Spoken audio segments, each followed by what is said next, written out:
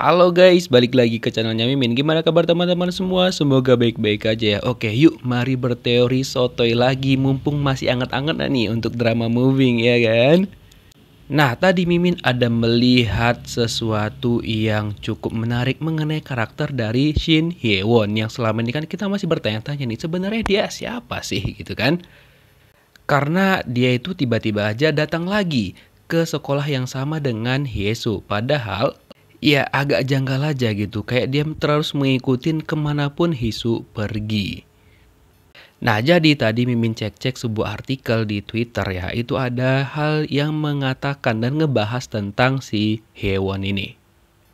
Jadi Shin Hyeon ini adalah seorang agen dan dia juga memiliki kekuatan super di mana kekuatannya dia adalah tidak bisa menua. Jadi dia terlihat umurnya segitu-segitu aja gitu. Nah, kalian nggak percaya kan? Awalnya Mimin juga nggak percaya, terus setelah membaca artikel tuh, wah barulah Mimin percaya. Artikelnya ini berbahasa Korea dan itu dia ternyata kerjasama juga dengan si bapak sapam yang bernama Huang Jisung.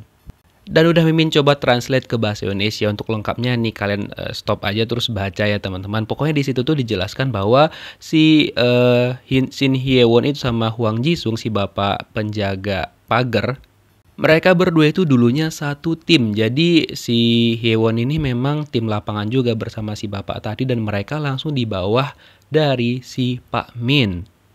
Dan di sini juga dijelaskan seperti yang Mimin bilang tadi bahwa Hewon ini adalah memiliki kemampuan tidak bisa menua sama sekali.